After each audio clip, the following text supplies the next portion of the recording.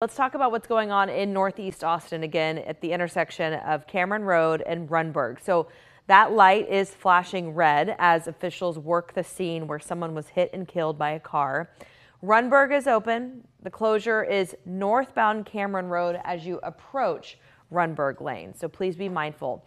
Southbound Cameron still open, so you can still access that. It's not a complete closure of the intersection just a partial closure on Cameron down south of Rundberg. So please be mindful of that. We'll be watching that for you throughout the morning and hopefully we'll have uh, some live updates from our videographer who is on scene at this point.